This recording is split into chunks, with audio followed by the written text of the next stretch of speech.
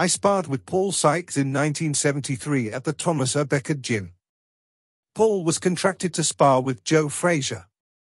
Anyway, Frazier was having a break from sparring, and at the time I was the main contender for a shot at the British title, so Paul told me to get in the ring and spar a few rounds with him to check out my capabilities. He was a tough man and he relished being tough and being thought of as tough. We had a good sparring session. I remember it very well because he compared my punching power to that of the dynamic Joe Frazier. I found Paul to be a very hard man as a boxer in the ring.